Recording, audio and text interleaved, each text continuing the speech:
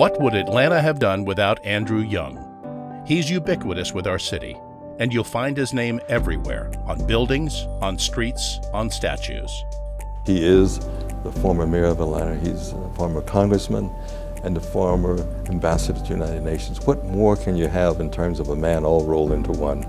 He's Atlanta personified. The Dan Sweat Award, presented in honor of CAP's former president, honors exemplary leaders who have made a lasting impact on downtown Atlanta.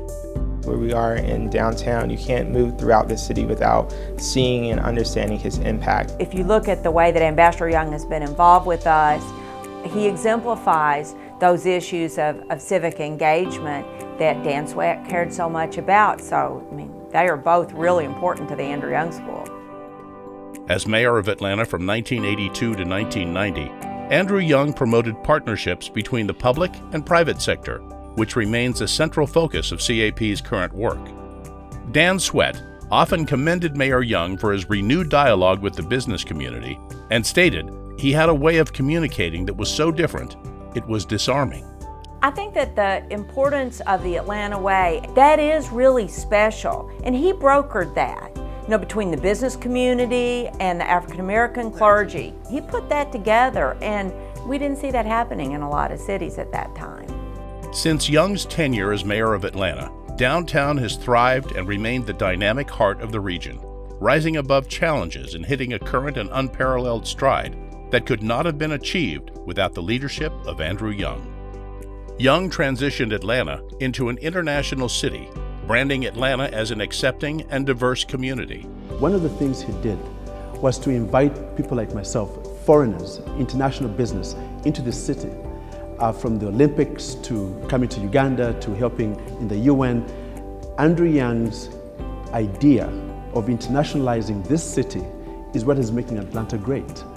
Young's legacy continues to inspire the next generation at both the Andrew Young School of Policy Studies at GSU and the Andrew Young Center for Global Leadership at Morehouse College. He wants leaders not only at Morehouse but here in Atlanta and the city to be passionate and understand how we can impact people uh, all around the world. Take a walk through downtown today and you can't miss the signs of Andrew Young's legacy. Most notably, perhaps, is Centennial Olympic Park, which serves as a powerful economic impact engine, planting the seed for what is now the Centennial Park District, downtown's premier entertainment district. Andrew Young is a true believer in Atlanta, and the relationships he built with the business community continue to keep downtown thriving.